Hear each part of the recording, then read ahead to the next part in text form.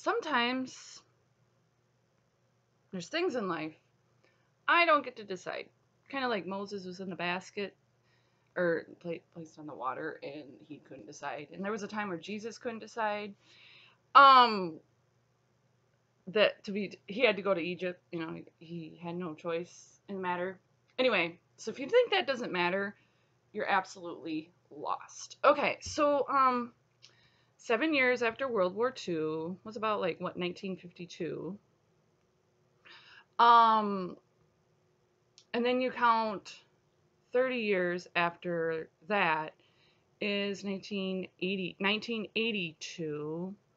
Okay, and so like that's 30. The number 30 is like a big Jesus was 30 years old type of number. You know, Jesus was 30. It says that right in the Bible.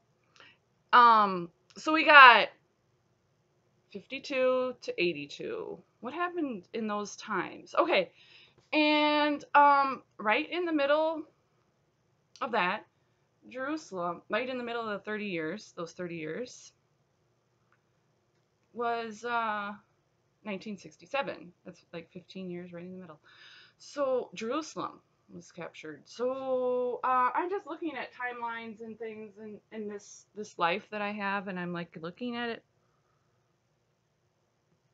very carefully, and I'm looking at I even look at my hair a little bit just to solve all this stuff. And uh, anyway, have a good day.